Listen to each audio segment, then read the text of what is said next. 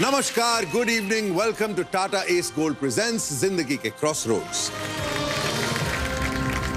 अभी कल ही मैं नोटिस कर रहा था कि एक बाप अपने बेटे से कुछ सवाल कर रहा था कि बेटा ये बताओ दूध कहाँ से आता है? तो बेटे ने कहा, दूध वाले से? बाप ने कहा, सब्ज़ी कहाँ से आती? है तो बेटे ने कहा, सब्ज़ी वाले से? बाप ने कहा अच्छा ये बताओ, अनाज कहाँ से आता है? तो बेटे ने कहा, किराने वाले से।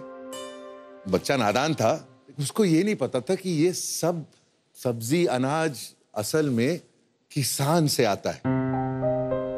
Right right? किसानों के बारे में हम लोग ज़्यादा सोचते ही नहीं है। ज़्यादा पता ही नहीं है हम सबको। तो आज की जो कहानी है, वो एक किसान की कहानी है। आइए कहानी देखते हैं। उसके बाद किसान की ज़िंदगी में क्या कुछ होता है, उस पर बहुत सारी बातें करेंगे।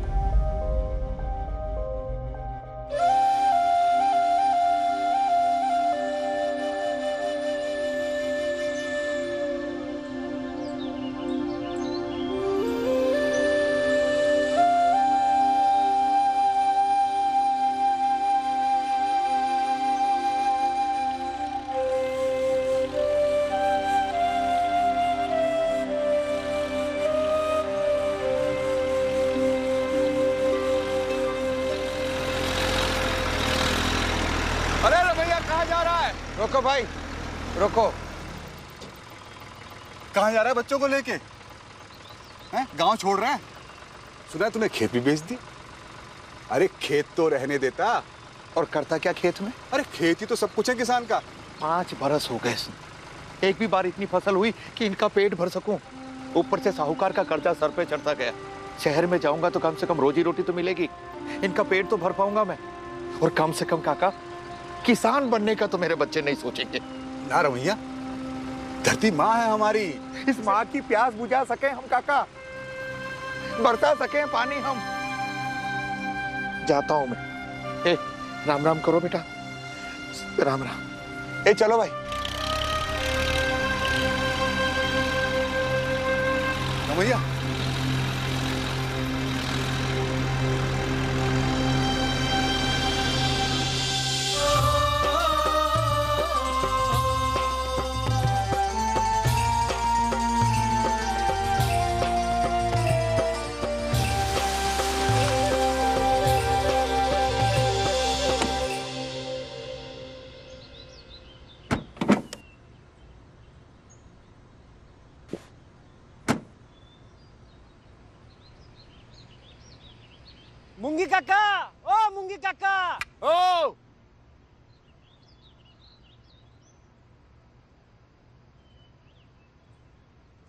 मुंगी काका नए मैनेजर साहब आए हैं बैंक के। वो बैंक के लोन के बारे में आपसे बात करनी है। राम राम साहब मुंगीलाल तुकाराम शिंदे। पंद्रह लाख का लोन है बैंक का तुम पर और चार लाख ब्याज है। कितनी बार नोटिस भेजा तुम्हें लेकिन कोई जवाब नहीं दिया तुमने। जानते हो बैंक क्या कर सकता है? तुम्हारे इस खेत की नीलामी होने वाली है अब। मालिक इस बार की फ़सल के बाद बैंक के एक एक पाई चुका दूँगा। कैसे होगा मुंगीलाल? तुम्हारा ये छोटा सा खेत और इसकी फ़सल। बैंक की पंद्रह लाख रुपए की रकम। कैसे होगा ये सब? मालिक मैंने बहुत तैयारी की है बहुत मेहनत की है। पानी भी दे रहा हूँ फ़सल बहुत अच्छी होगी। देखो हम बैंक मैनेजर हैं लेकिन मजबूर हैं। हम ज़्यादा से ज़्यादा इतना कर सकते हैं कि तुम बैंक का जो ब्याज है वो आने वाले सात दिन में चुकता कर दो। हम हम तुम्हारे इस खेत की नीलामी एक साल के लिए टाल सकते हैं। सात दिन? मेहरबानी साहब कोशिश करता हूँ। चलो।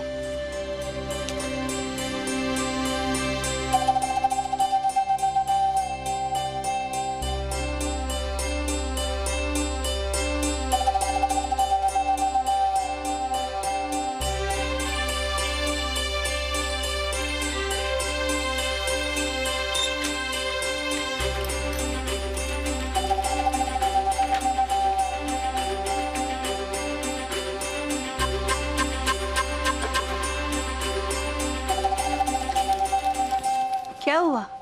कुछ ढूंढ रहे हो? मिल गया। क्या?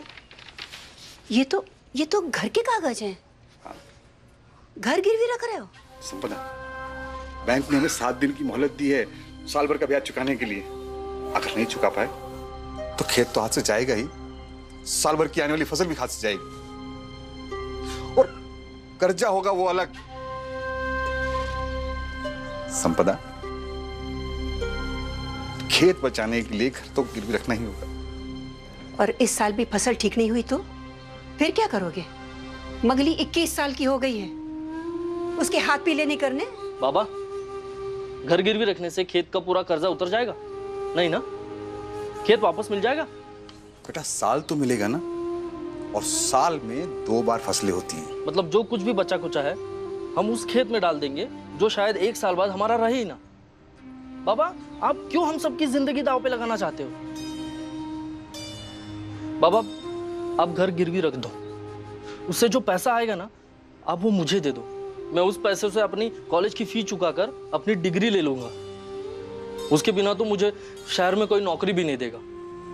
नौकरी मिलते ही इस पूरे परिवार की ज़िम्मेदारी मेरी और मंगली की शादी की ज़िम्मेदारी भी मेरी। बेटा खेत भी तो हमारा अपना है। बंजर ज़मीन हो बाबा। कुछ नहीं होगा वो खेत रखकर। अब पैसा मुझे नहीं देना चाहते तो कम से कम वो मंगली की शादी तो करवा दो। कम से कम एक ज़िम्मेदारी तो कम हो ज़िंदगी में।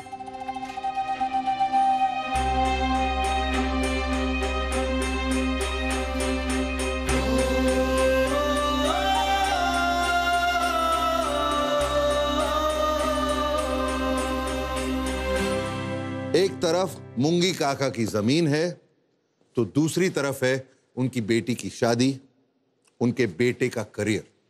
मुंगी काका को क्या करना चाहिए? इनको दे दीजिए माइक प्लीज़ आपका नाम? रामबीर दैया और आप कहाँ से हैं? मैं सोनीपत हरियाणा से बिलोंग करता हूँ जी। Okay okay. सबसे पहला काम है कि जी उसके मुंगी काका के जो लड़का है उसको साथ देना चाहिए अपने फादर का और उसके बाद बाद में किसी चीज़ में अपना जॉब का बाद में तैयारी करे।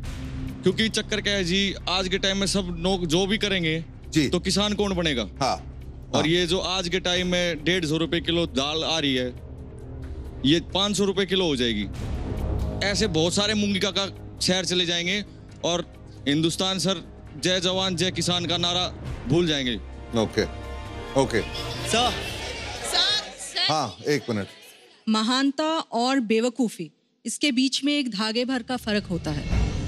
उन्हें पहले अपनी फैमिली का साथ देना चाहिए। हाँ। क्योंकि हमने जैसे देखा है पास्ट रिकॉर्ड में अभी तक उनकी फ़ार्मिंग से जितना उन्हें आना चाहिए था उतना नहीं है। और अभी उनके पास और कोई रास्ता नहीं है अपना लोन क्लियर करने के लिए तो उन्हें जो रुपए हैं वो अपने बेटे के फर्दर करियर में और अपनी बेटी की शादी में लगाना चाहिए। ओके हाँ। हाँ जी। मैं मैडम की बातों से बिल्कुल सहमत नहीं हूँ। नहीं है। बोलिए क्यों? क्योंकि तभी तक काफ़ी देर हो चुकी होगी। अगर मुंगी काका अपने बच्चे की पढ़ाई के लिए फ्यूचर के बारे में देखेंगे तो इनकी ज़मीन जाएगी पूरा परिवार टूट जाएगा। सर पर ज़मीन तो जा ही रही है ना वैसे भी उनको तो सिर्फ़ चार लाख ही मिल रहे हैं। उनकी ज़मीन के लिए उन्हें पंद्रह लाख पे करना है बाकी के ग्यारह लाख वो कहाँ से लाएँगे आप बताइए। मैडम मुंगी काका पहले जो प्रेजेंट सिचुएशन है उसको तो संभाले। तो प्रेजेंट सिचुएशन में ही तो उन्हें डिसीज़न लेना है ना सर?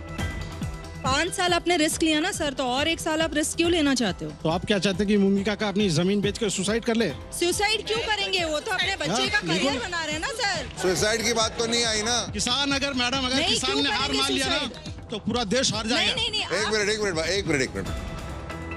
आई थिंक कि यहाँ पे मुंगी काका को जो है वो अपने बेटे को सपोर्ट करना चाहिए। अभी उनका बेटा जो है वो शहर जाकर कमाना चाहता है। Okay okay. मैं मैम से सवाल करना चाहता हूँ कि क्या कंफर्म मुंगी काका के लड़के को जॉब मिल जाएगी?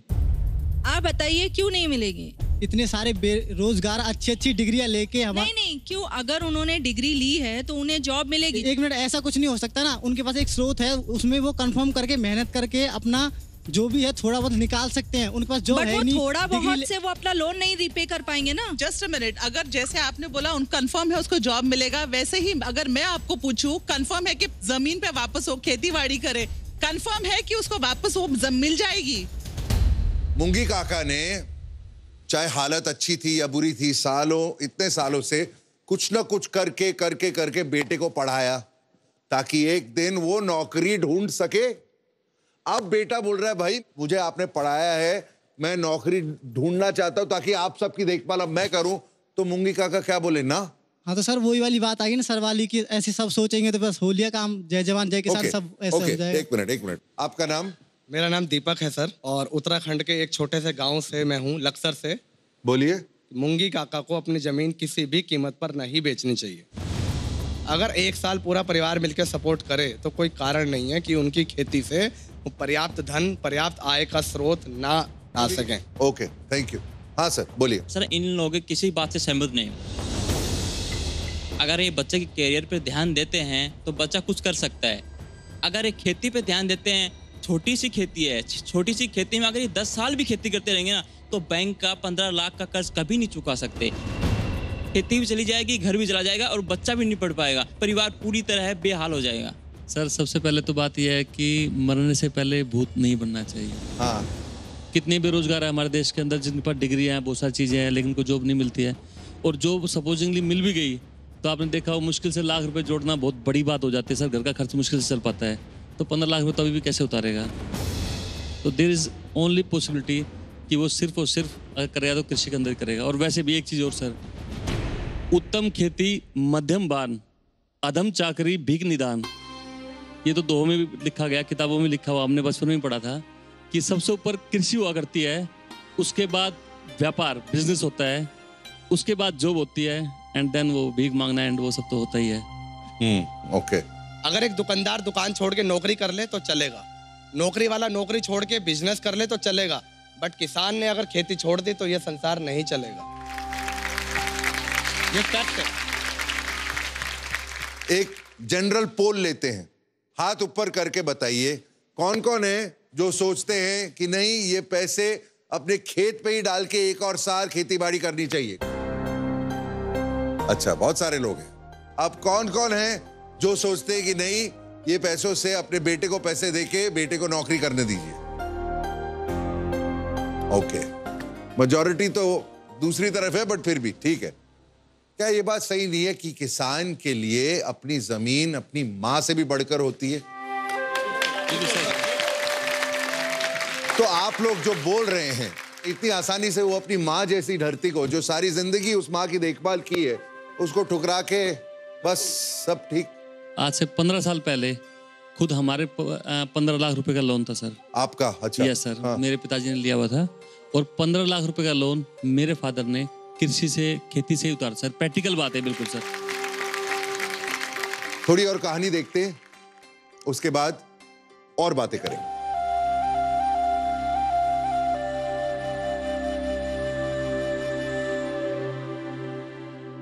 तय कर लिया मैंने।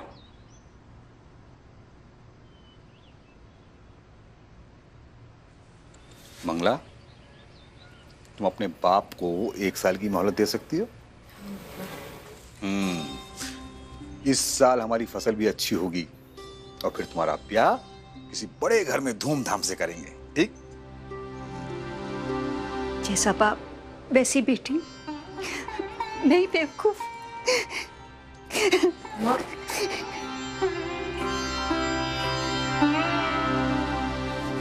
केशव चिंता मत करो। तुम्हारी फ़ीस मैं चुकाऊँगा। और बैंक का लोन भी। धीरे धीरे। जो करना है करो। सब एक से बढ़कर एक पागल।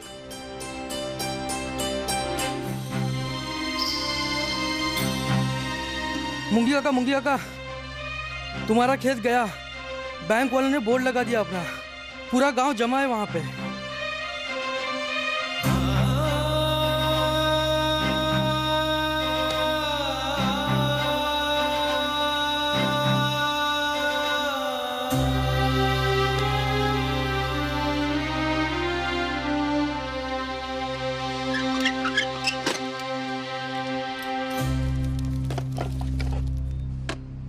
पैसे कहाँ गए? यही तो रखे थे मैंने। संपदा? संपदा? वो यहाँ पैसे रखे थे वो आ, केशव कहाँ है? वो वो शहर चला गया। पैसे चुरा कर नहीं उसने नहीं चुराए।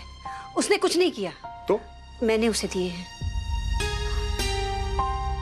उस उस ज़मीन पे पैसे फूकने से अच्छा है उसे बेटे को दे दो। कल नौकरी मिली तो बुढ़ापे का सहारा तो बनेगा। और और क्या करोगे फ़सल उगा कर देखते नहीं, ज़िंदगी सिर्फ़ सिर्फ़ शहर में है।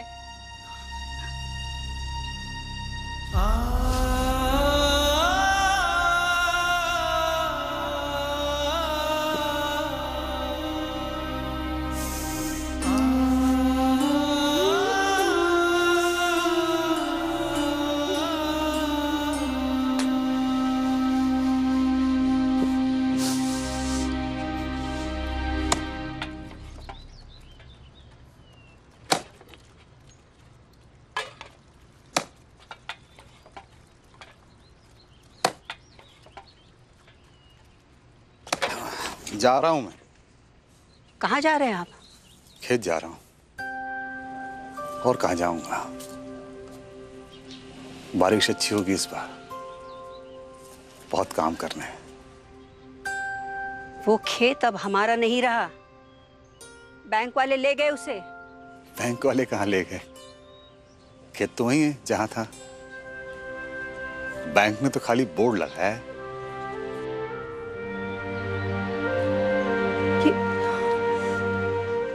ये क्या हो गया इन्हें?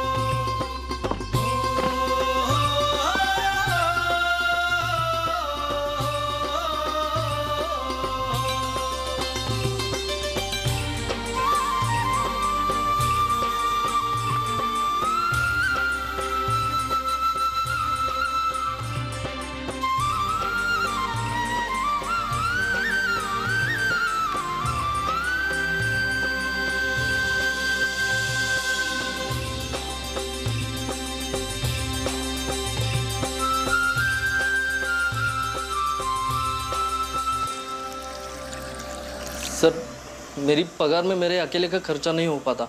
और आपने कहा था कि काम देख के पगार बढ़ाऊँगा। सर, चार महीनों से मैं दिन रात मेहनत कर रहा हूँ। लेकिन आपने पगार बढ़ाने की बात आई से गेट लॉस्ट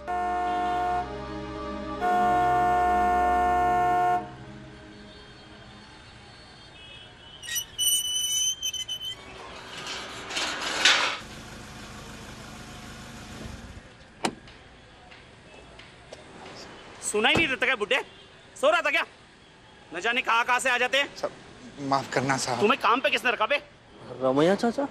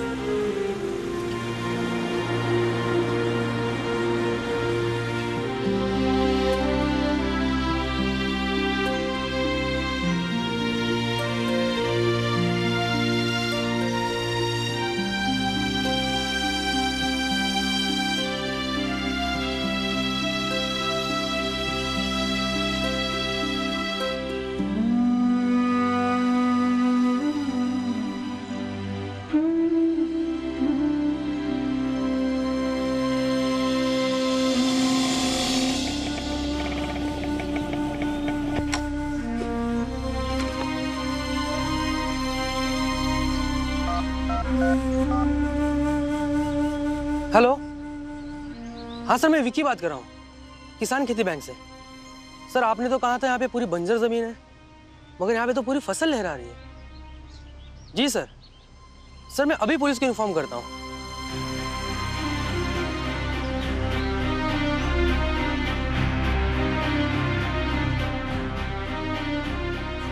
इस खेत पर फ़सल किसने उगाई है? मैंने साहब क्यों बे? तेरे बाप का खेत है ये। तुझे पता नहीं? बैंक की ज़मीन है ये। और तू बैंक की ज़मीन पर कब्जा करके खेती कर रहा है। किससे इजाज़त ली थी? इजाज़त? सब धरती से फ़सल बाहर आने के लिए किसकी इजाज़त लेती? है मिट्टी खाद हवा पानी और किसान की ममता। इंस्पेक्टर साहब एक मिनट। देखिए इन्होंने बैंक की ज़मीन पर खेती ज़रूर की है लेकिन हमें नहीं लगता कि कोई गुनाह किया है। लेकिन अब इन लोगों को ये बात समझनी पड़ेगी कि इस खेत के साथ साथ इस फ़सल पर भी बैंक का अधिकार है। आप प्लीज़ इनके खिलाफ कोई एक्शन मत लीजिए। प्लीज़ एक एक मिनट इतने दिन आप लोग किधर थे? ये आदमी रोज दिन रात सुबह शाम इस खेत में मेहनत करता था। तब कोई नहीं आया। माना कि खेत जब्त है पर फ़सल नहीं। वो मेरे पति की कमाई है। वो मेरे पति की ऊपर वाला सब देख रहा है। अगर गरीब की कमाई छीनोगे तो वो कभी माफ़ नहीं करेगा। कभी माफ़ ए चुप बैठ एक तो ये मैनेजर साहब भले आदमी है इसलिए तुम दोनों को हथकड़ी नहीं लगाई वरना अब तक जेल में होते। इंस्पेक्टर साहब एक मिनट।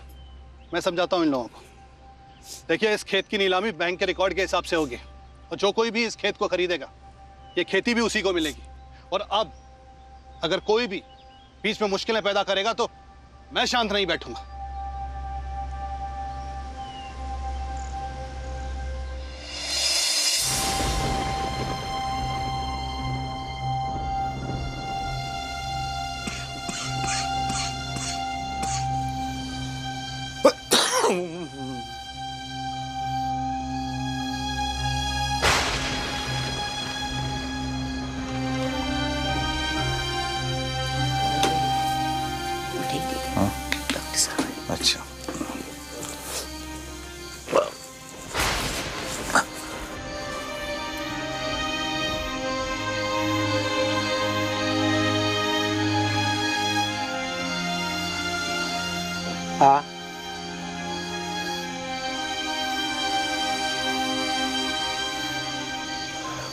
इन्हें तेज बुखार है। मैं इंजेक्शन दे देता हूँ।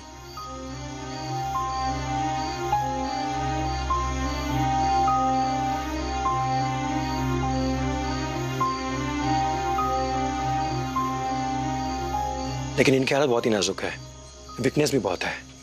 कम से कम हफ़्ते भर आराम करना होगा। काम बिल्कुल मत करने देना। ऐसी हालत में इनका काम करना जानलेवा भी हो सकता है। ठीक है? नमस्ते। आज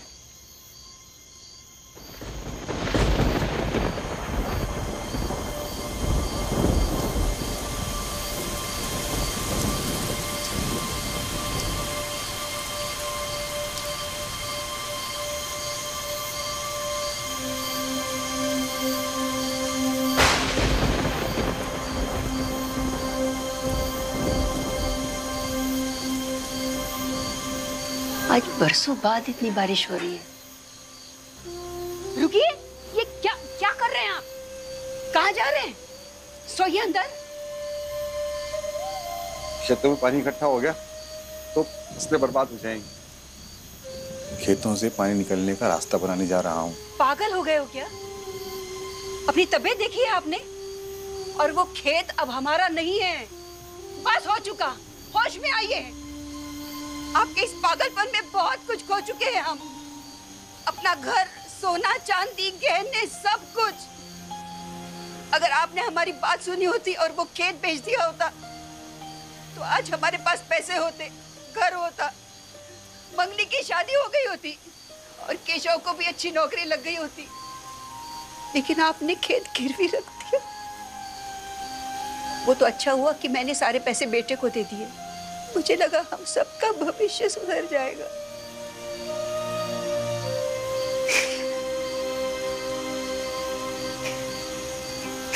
मुझे माफ़ कर हमें आपकी ज़रूरत है। मैं आपके आगे हाथ जोड़ती हूँ। मत जाइए। सारी गलती मेरी। और किसके लिए करता हूँ ये सब? अपने खेतों के लिए ही ना। और खेती के अलावा मुझे आता ही क्या है? क्या आता है? पागल हूँ मैं। हूँ? पागल हूँ क्या? अरे सोच कर खुशी मिलती है कि हमारे खेतों में पैदा हुआ अनाज कुछ लोगों के पेट में जाएगा। बस। और वो खुशी मेरी सारी थकान, मेरा सारा बुखार सब गायब कर देती। एक बात बताओ संपदा। अगर हमारे बच्चे आंधी तूफ़ान में बाहर खड़े हों तो क्या हम उन्हें ऐसे छोड़ देंगे? हाथ पर हाथ धरे बैठे रहेंगे क्या? ढूँढने नहीं जाएँगे उन्हें। खेत में नहलाती फ़सलें भी तुम्हारे बच्चे। कोई माँ बाप अपने बच्चों को यूँ बारिश में नहीं छोड़ सकता और अगर आपको कुछ हो गया तो मंगली और मेरा क्या होगा? बोलिए। अब आपको हम दोनों में से किसी एक को चुनना होगा। हम या खेत।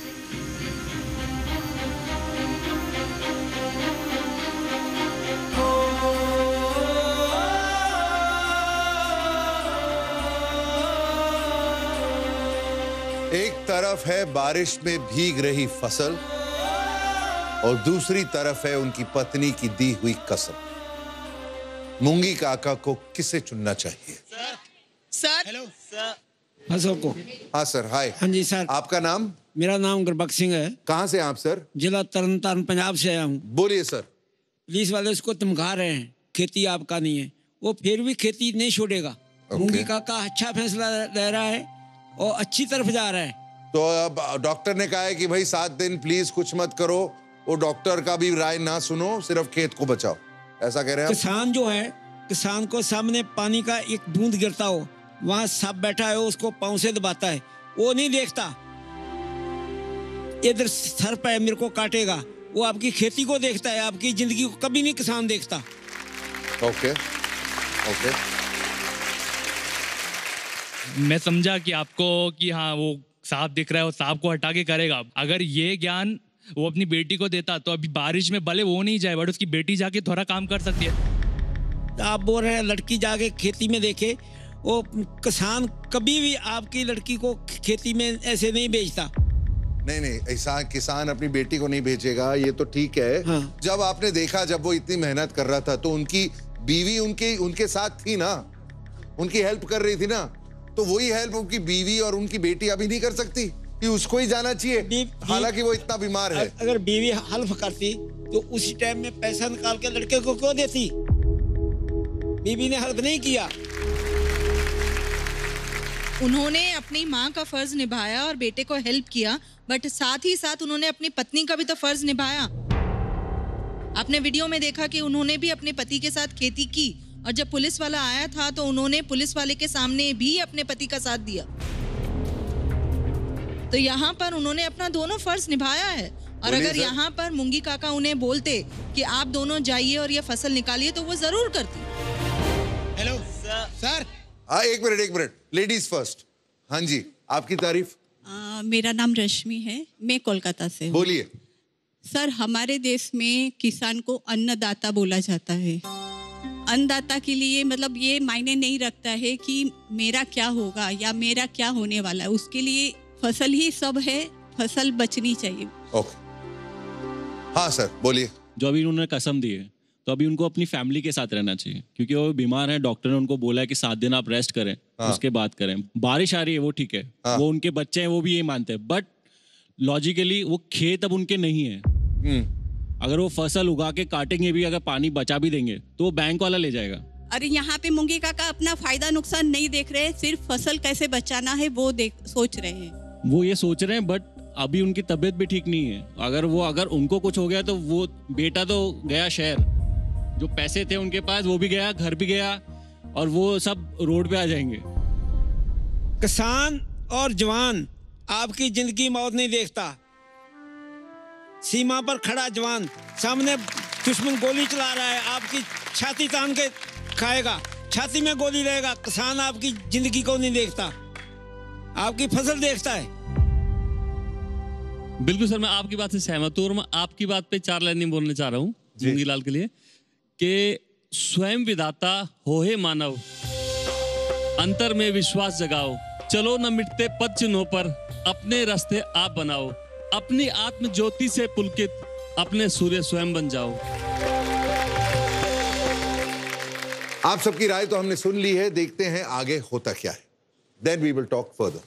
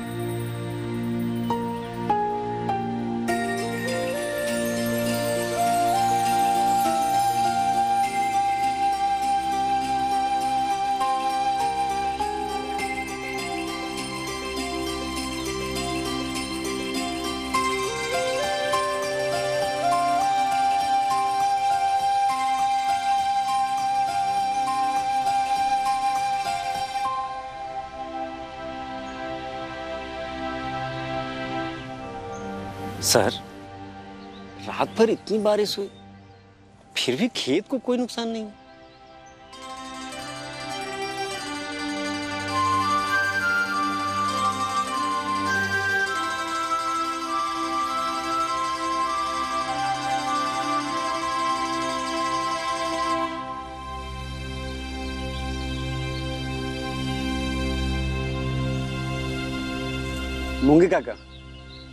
ये खेत बिक चुका है। आप यहाँ अंगूठा लगा दें।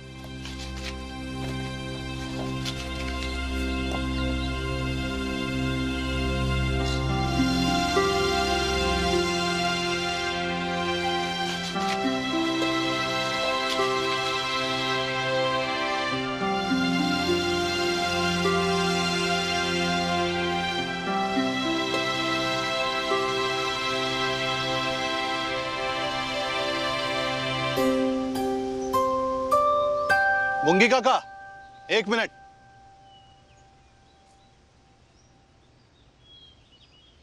कहाँ जा रहे हैं आप? इस खेत को आपने अपने खून पसीने से सींचा है। दिन रात इसकी सेवा की है। रात दिन आंधी तूफ़ान से इसे बचाया है और अब अब जब इसे काटने का वक्त आया है तो इसे छोड़कर जा रहे हैं आप। अगर कहा? इस खेत को नीलामी में मैंने खरीदा था। कुछ सोचकर। मैं चाहता हूँ कि हमेशा की तरह इस खेत की देखभाल सिर्फ़ और सिर्फ़ आप करें। बस एक ही चिंता है अब मेरी। आप बुज़ुर्ग हैं बुरा मत मानिएगा ईश्वर न करे, कल को आपको कुछ हो जाए तो इस खेत की ज़िम्मेदारी कौन लेगा? अब बैंक की भाषा में कहूँ तो गारंटर कौन बनेगा? कोई है? मैं हूँ।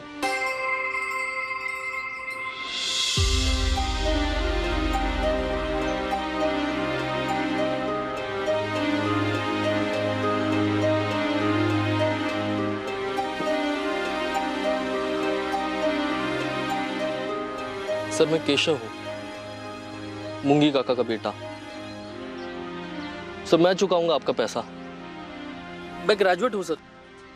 चाहे तो आप ये सर्टिफिकेट्स देख लीजिए सर सर मैं बहुत काबिल हूँ सर भाई तुम्हारी बात का भरोसा कैसे किया जाए? अब तुम पढ़े लिखे हो। कल को वापस शहर नहीं भाग जाओगे। क्या गारंटी है? मैं अब कभी वापस नहीं जाऊँगा सर देख लिया वहाँ पर दूसरों के लिए पसीना बहाकर कुछ नहीं मिलता। लेकिन अब मैं इस ज़मीन पर अपनी बाबा की तरह अपना पसीना बहाऊँगा सर सर अब तक जिन सर्टिफिकेट्स को मैंने बहुत कीमती समझा मैं आपको सौंप रहा हूँ। यह गारंटी सर बहुत मेहनत से हासिल किया है सर इसे। पर बदले में क्या मिला? कुछ नहीं। बल्कि अपने ही घर में चोर बन गया मैं। लेकिन अब पूरा कर्ज उतारने के बाद ही मैं इन्हें वापस लूँगा। केशव। एक बात अच्छे से समझना। मैं ये जो कुछ भी कर रहा हूँ, ये ये सिर्फ़ और सिर्फ़ मुंगी काका के लिए कर रहा हूँ। तुम्हारे पिताजी के लिए। और जानते हो क्यों? क्योंकि मैंने इनका, इनकी फ़सल के लिए, इनकी खेती के लिए प्यार देखा है। मैंने इनके अंदर खेती को लेकर एक जुनून देखा है। मैंने उसी दिन फैसला कर लिया था कि मैं इनकी मदद ज़रूर करूँगा। अब किस चीज़ का इंतज़ार है भाई? आपकी फ़सल, आपका खेत आपका इंतज़ार कर रहा है। हुँ?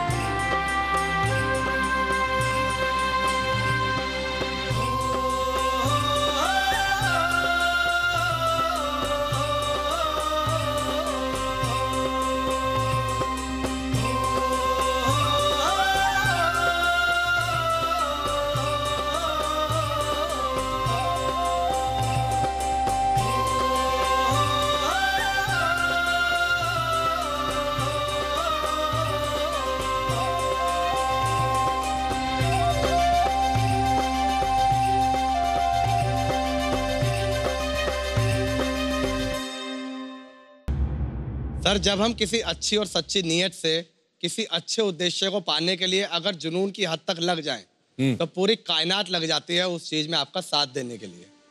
ये मुंगी काका की स्टोरी ने प्रूव कर दिया। वेरी गुड ओके अपनी रोजी रोटी चलाने के लिए हम सब कोई ना कोई काम करते हैं। एक टीचर देश का भविष्य संवारने का काम करता है। एक डॉक्टर देश हेल्दी रहे उस दिशा में काम करता है। किसान क्या करता है? मौसम की मार झेलता है। बेवक्त सूखा या बाढ़ झेलता है।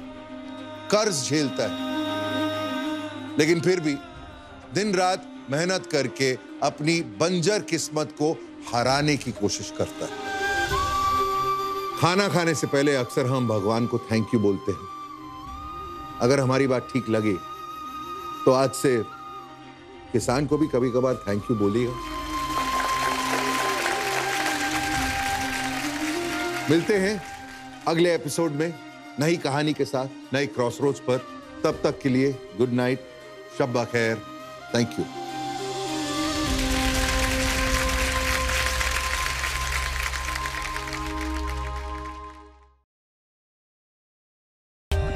For more updates, subscribe to our channel, click the show links and enjoy watching the videos.